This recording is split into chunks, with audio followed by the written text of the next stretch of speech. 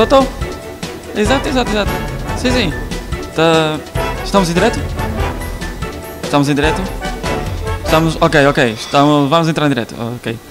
Estamos em Nova York, onde terminou hoje o festival Woodstock.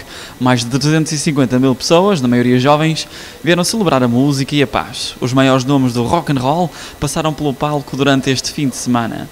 Este foi um dos maiores eventos de música em todo o mundo. Por agora é tudo nesta reportagem a partir de Nova York.